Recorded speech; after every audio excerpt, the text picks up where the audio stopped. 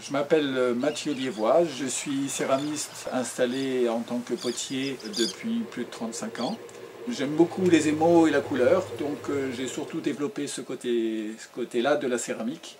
Entre autres la cristallisation, je me suis passionné par le côté chimie de la cristallisation, le développement euh, lors de la cuisson de ces fameux cristaux. J'ai vécu de ma céramique euh, très bien et il y a quelques années j'ai une envie de transmettre mon savoir-faire.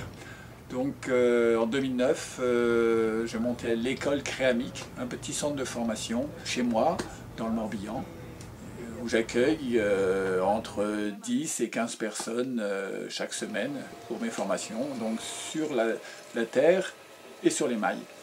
J'en profite pour préparer mes élèves au passage des diplômes d'État, entre autres le CAP tournage.